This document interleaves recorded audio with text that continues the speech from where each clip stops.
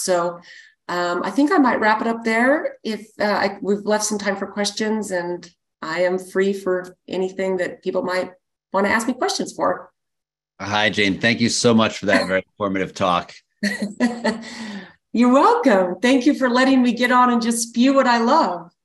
So, real quickly, we're we're now going to begin the uh, the Q and A, and just so everybody knows uh, how, how that's going to work. Actually, um, you mentioned your father's book, and you mentioned Amazon. Um, do you do you have a book also?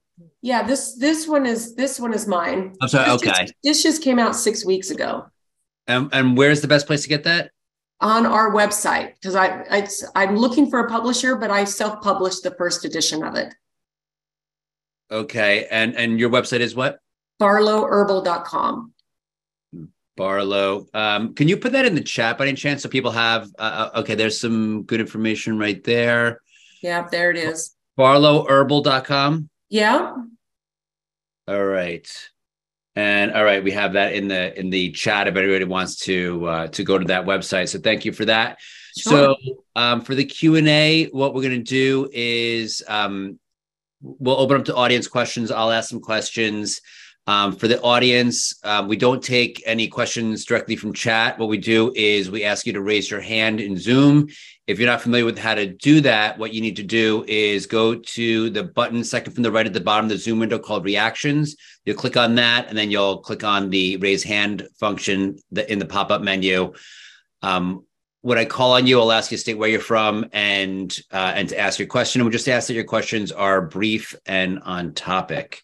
So um, want to go ahead and I will throw the the first question to Michelle. Where you're from, and go ahead and ask your question.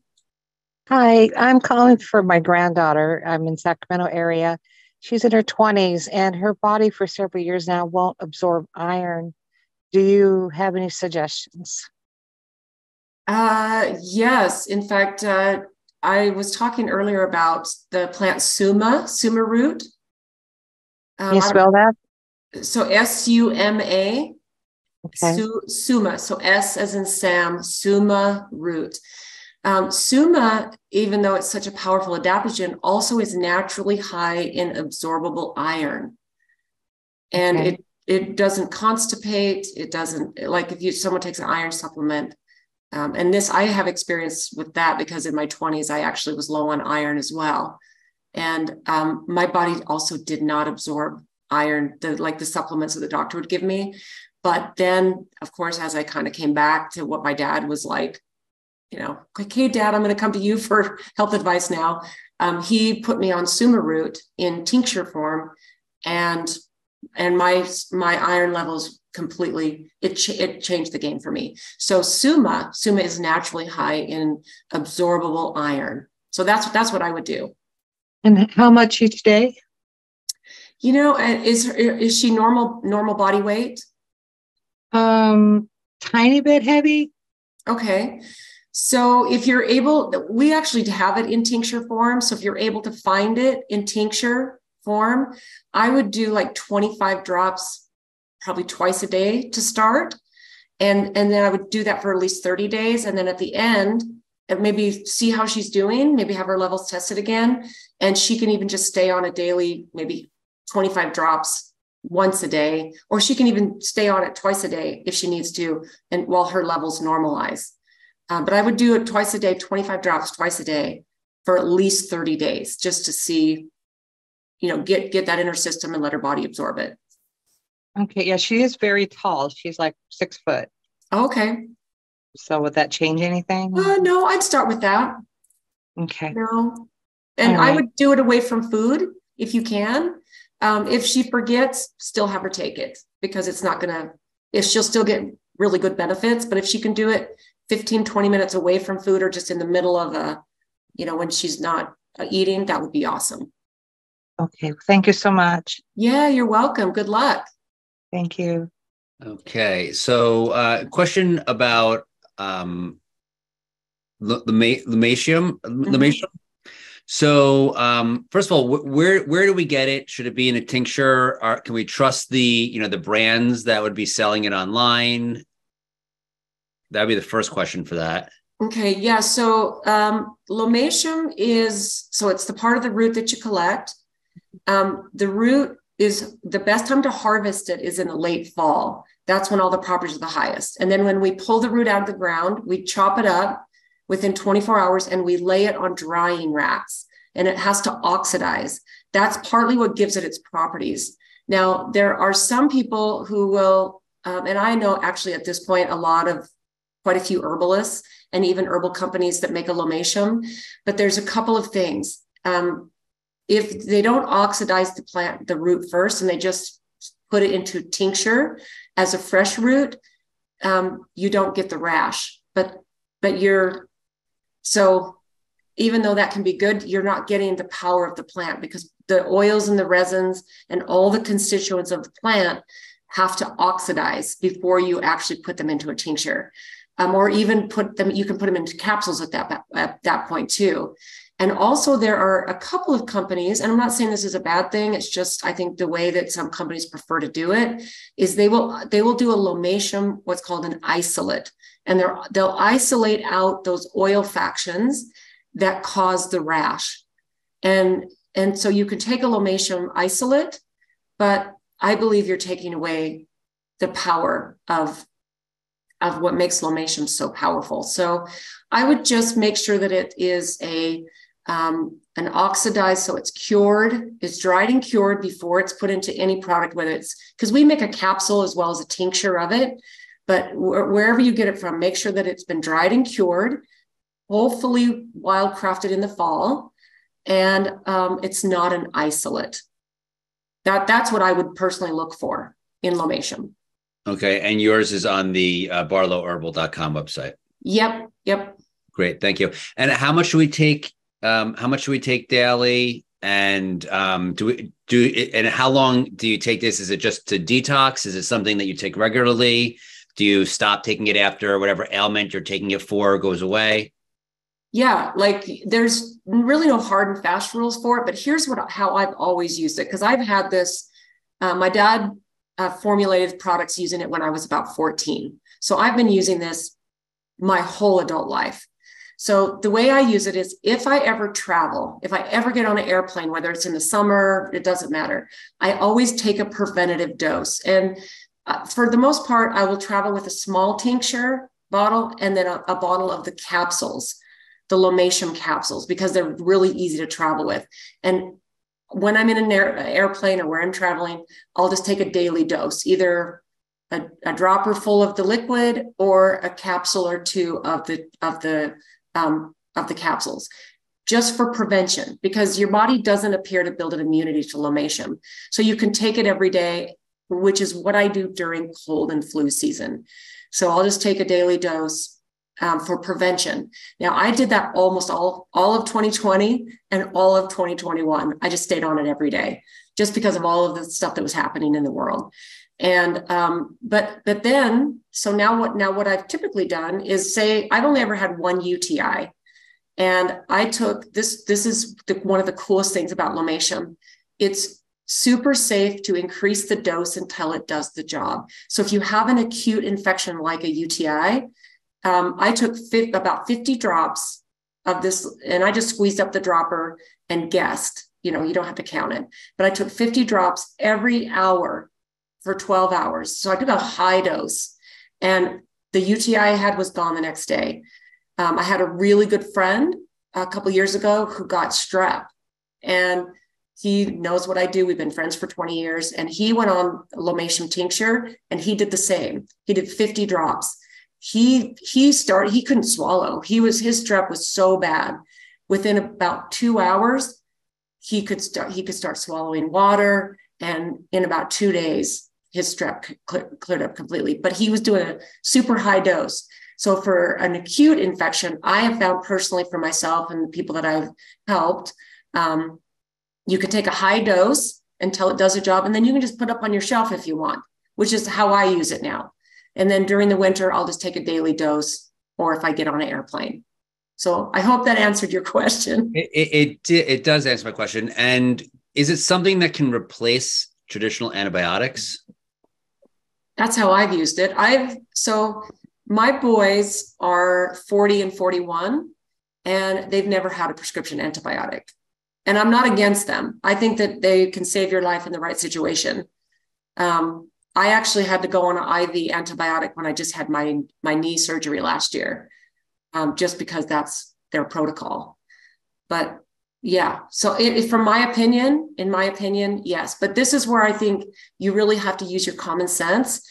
You you have to, you know, you really have to be smart and and if you if you need an antibiotic, you know, then you should use it. But then there you should also make sure you add in some good probiotics and really re, reconstitute your gut flora.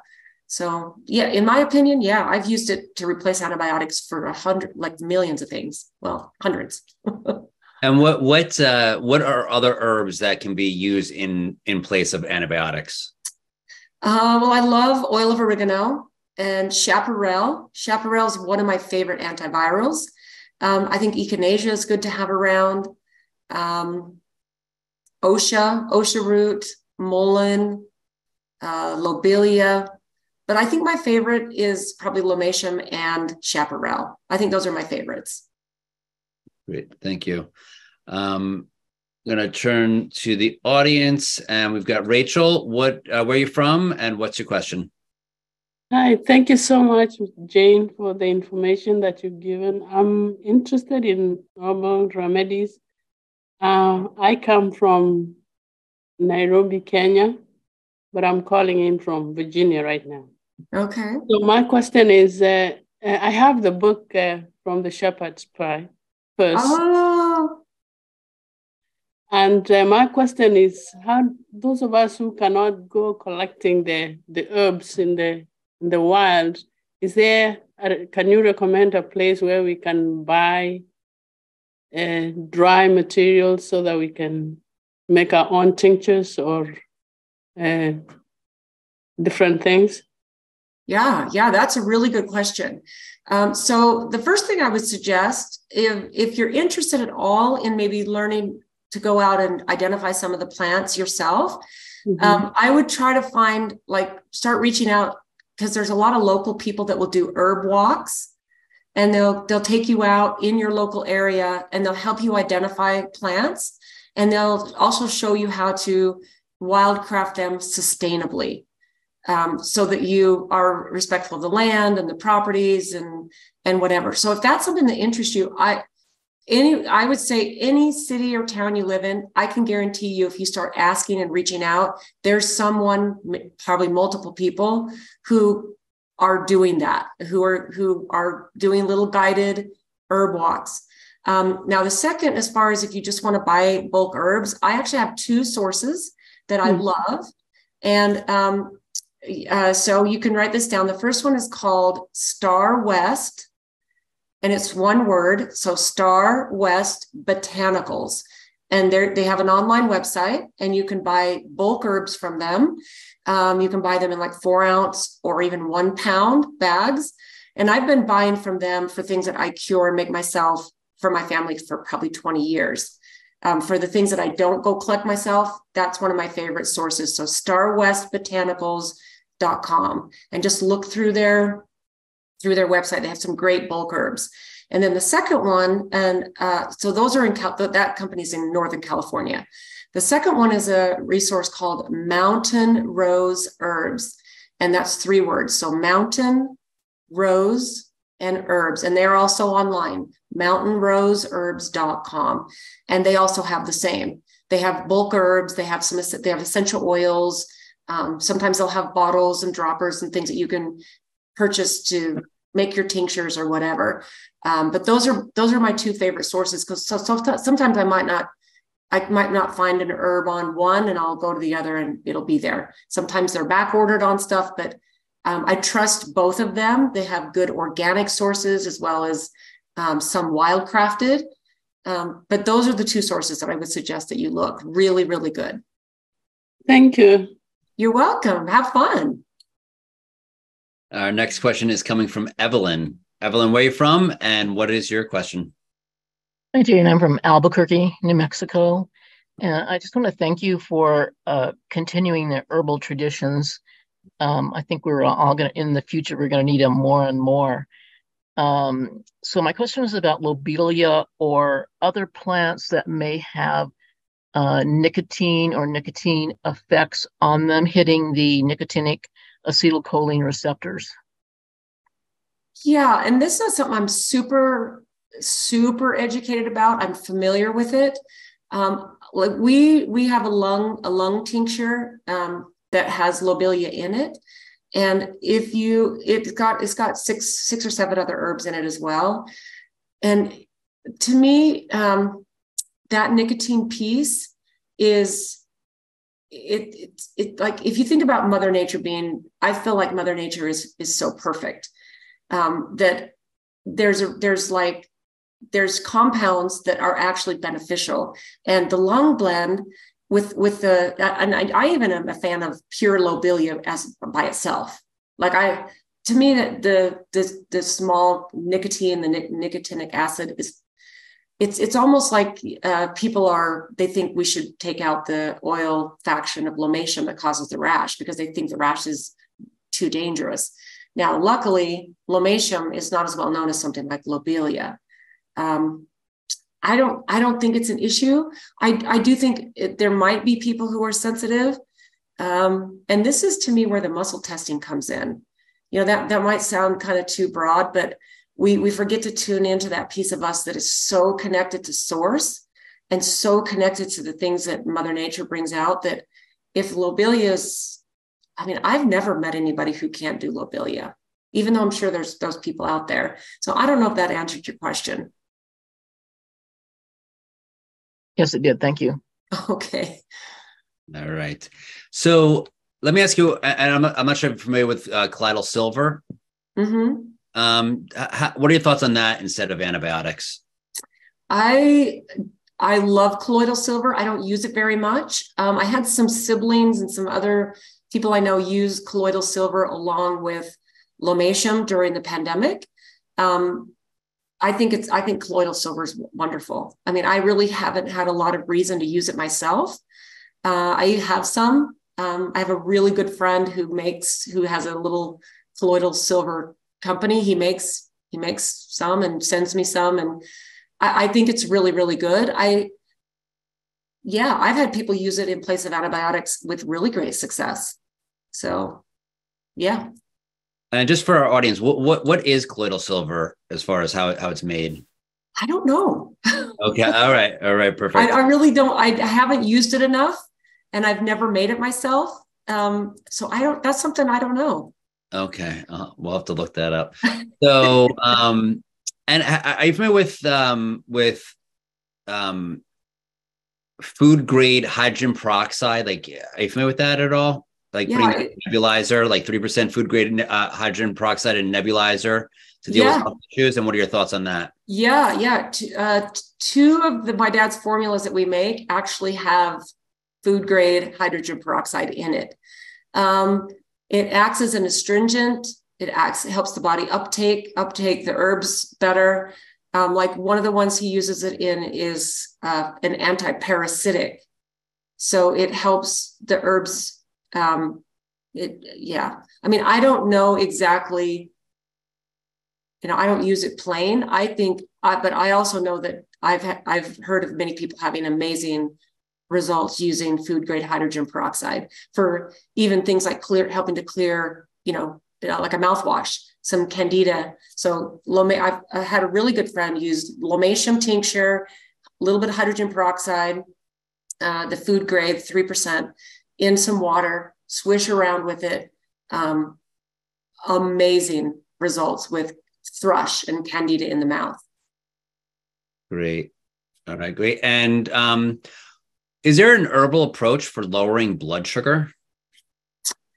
Um, yeah, like some of my herbs, favorite herbs for that, because what you want to do is you want to support your pancreas. I love Gymnema sylvestre. Um, fenugreek um, is really good. I also love kelp because kelp helps to nourish your thyroid. It's kelp is, you know, for, for the woman who is asking for her daughter with the low iron, I would also, now that I'm thinking about it, I would also suggest she get a good kelp, a kelp supplement. You can get it in powdered form. You can add it to smoothies You can probably get it in capsule form easily. Um, but things you, like Gymnema sylvestre actually helps curb your appetite for sweets. Um, and sugar is one of those things that it, it's so addictive. I mean, it lights up the same part of your brain that heroin does. I'm sure many people have heard that. Mm-hmm. Um, that you really almost have to say, I'm going to go 100% sugar free. And, you know, let your body become unaddicted. Because if you say oh i'm going to only eat 5% sugar well you're still you're still keeping that sugar addiction flame going. So i would add something like Gymnema sylvestre fenugreek and probably kelp. I would add those three things to help curb your appetite for sweets and support and nourish your your pancreas. I was looking at thyroid pancreas and in your book do you go through stuff like this I'm sorry, ask say that again. In your book, do you go through stuff like this? Like in order to lower sugar, this is what I recommend type of yep. stuff? Yep. Okay. There's four, there's 14 sections. The first 13 are the herbs and they're divided into different sections. And then 14th, the 14th section is uh, a little bit more plant identification and then the whole preparation section. So yes, yes, we go through that. Awesome. Okay, Cecilia, you're up next. Where are you from and what's your question? Hi, um, thank you so much. It's uh, been a pleasure listening to you. Uh, really learned a lot. Um, I looked up your website to find your book, and it says it doesn't. Um, you don't do deliveries to the UK. Ah, uh, I know. the book is brand new out. It's only been out for six weeks. Right. So, um, and I so give us a little bit of time. Um, we've we've had people out of country want us to ship it, and it's like it's like $60 just to ship wow. it. Right. So give us a tiny bit of time. We're we're working on getting a publisher, um, and I'm also working on getting it on Amazon. Um, but it is 280 pages, full color. It's hardbound. It's heavy. It weighs five pounds. I mean, it's a big, wow. it's a big, heavy book. So so be patient because we have we, we have a really beautiful group of customers in the UK, and we love them so much. We would love to be able to send the book there. So um, check in. We're working on that really hard. So you send other products uh, to the UK? We do. Mm-hmm. Perfect. And how do you spell Genenium sylvestre, what you just oh, mentioned? Oh, Gymnema, Gymnema sylvestre. Yeah. Hold on yeah. just a minute. Let me. Do, do you want to put that in the chat? That'll make it a little easier for everybody. Oh, you want me to put it in the chat? If, if not, you know what? If you say it, I, I can I can. Okay, okay, because I uh I don't see. I, I, I got see it. I got it. Just give me one second to get to the everyone. Okay, um, just go just go slowly and and. Okay, okay. So G Y M as in Mary, N as in Nancy, E M as in Mary, A. So that's Gymnema. And Sylvestre is S as in Sam, Y, L, V as in Victor, E, S, T, R, A. Is that one word or two words? No, that's two words. Gymnema Sylvestre. Okay. And hopefully there's no spell check on this here. It'll if it's spell check, it should come up. It's uh Gymnema Sylvestre. All right. So that yeah. looks good. So, all right. So, uh, thank you, Sylvia, for that. Thank question. you very much. Thank you. Okay. And um, so, um, when we go on airplanes and, uh, you know, as well as you go to the doctor and we get tested, we get a lot of radiation. Um, what, does chlorella help with that? And what about uh, hot water with baking soda? Yeah, I love hot water with baking soda. I love chlorella, broken cell wall chlorella. I also love spirulina. Um, spirulina has a lot of good properties. Cilantro, if if someone's craving cilantro uh, on your food, that means your body is really um, that means you need it. Like if you think about things that we crave, um, I know if I'm craving bananas, I know that my body's needing potassium. So but yeah, I would say heavy metal detox, uh, baking, baking soda baths, amazing. Um,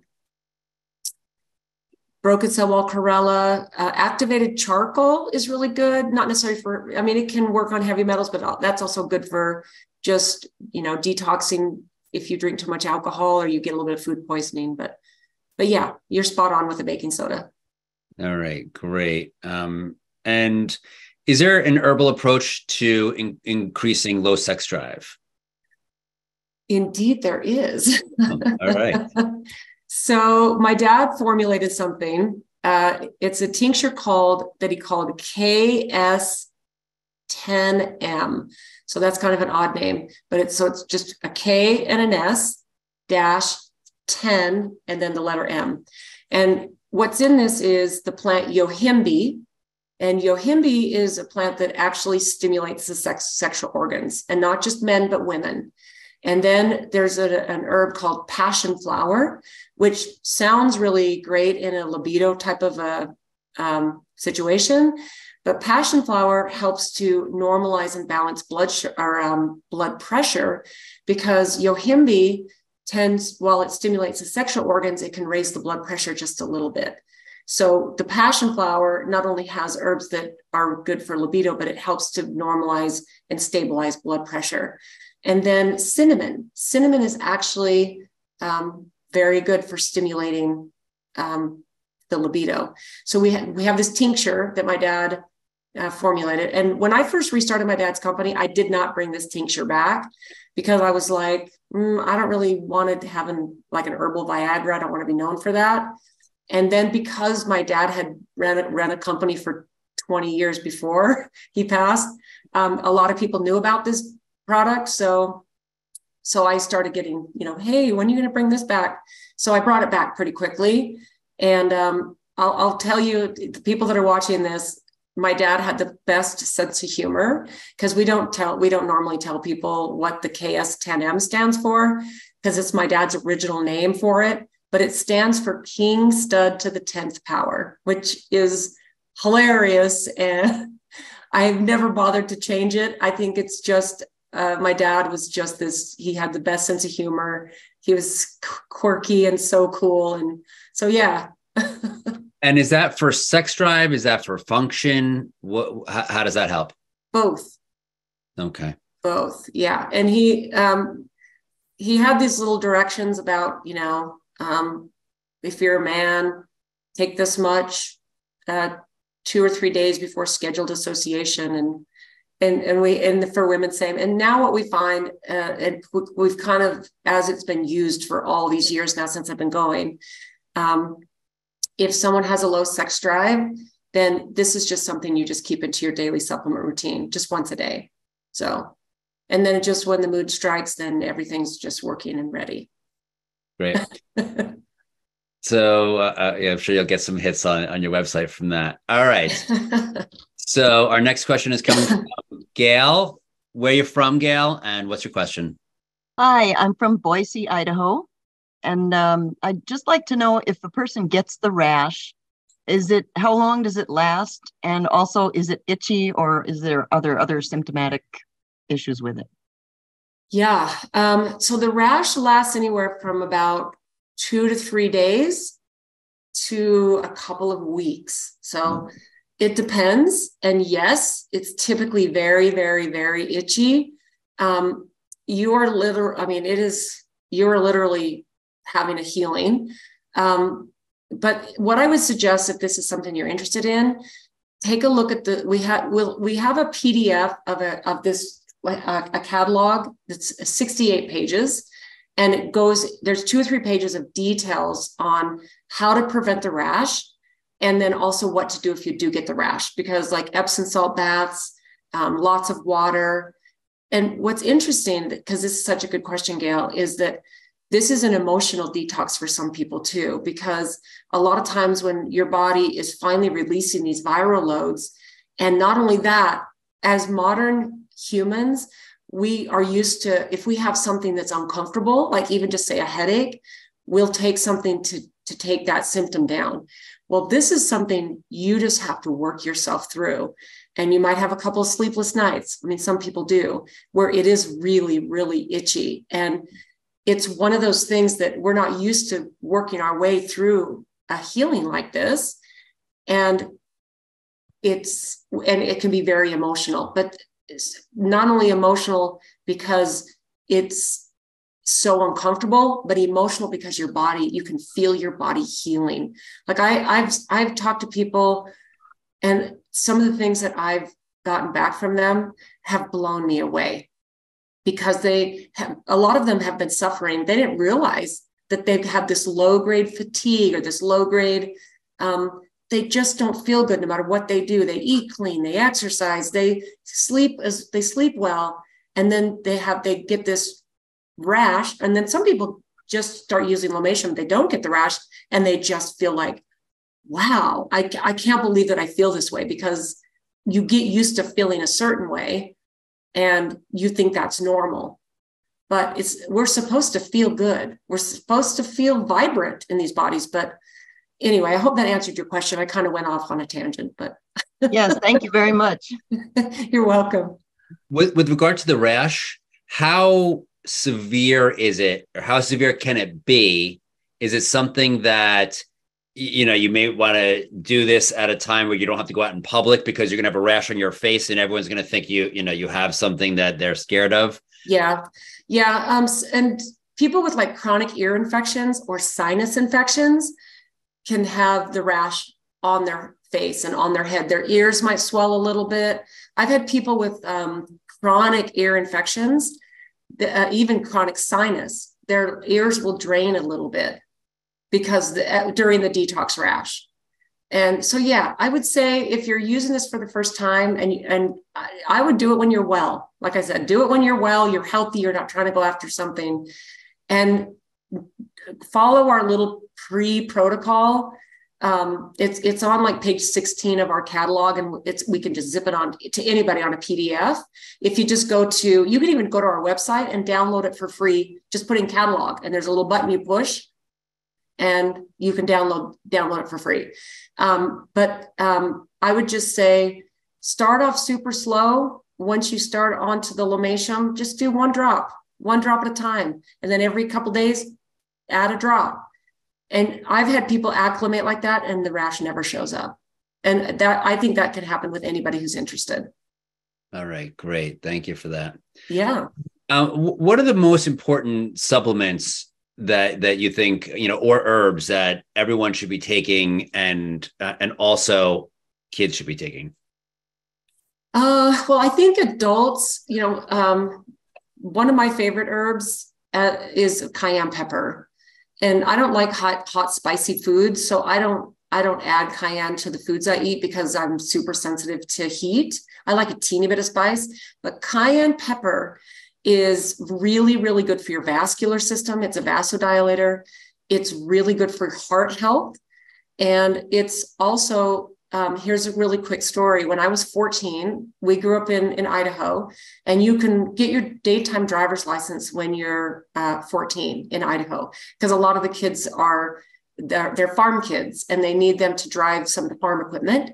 So even though we weren't farm kids, we lived out in a place where we could go get our driver's license. So on my 14th birthday, my dad took me out for a driving lesson. And we stopped to get gas at this little rural gas station. And this was, of course, a long time ago, way before you could put your just put your card into the gas station um, pump. And we went in to pay, and there was an older couple uh, at the cash register, and classic, the guy clutched his heart and and and collapsed onto the floor. And my dad carried two things in his, with him all, the time. He in his uh, left breast pocket, he had a wad of cash. And in his pants pocket on the right, he had a one ounce tincture of cayenne pepper. That was always my dad. He had the cash and the cayenne.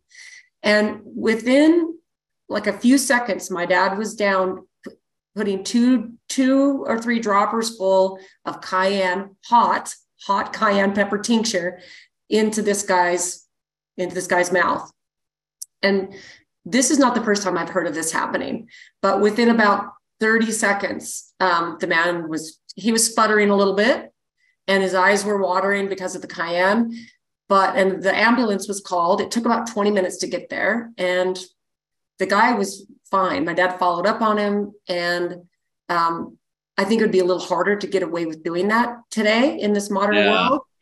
Uh, but I would say um, so. Cayenne pepper is something I take every day, but I take it in capsule form uh, because um, you know you hear about your your heart and your brain, these two organs. Um, there's they're starting to realize that they do regenerate parts of them, but almost every other part of your body regenerates and becomes new. And but your heart and your brain um, take longer, and they're such critical organs that you know. So cayenne pepper is something I I'd never skip, and then I have a nootropic, an herbal nootropic, uh, which is a, a brain brain food. It's N O O tropic, nootropic, and it's got things like ginkgo, gotu ashwagandha, schizandra.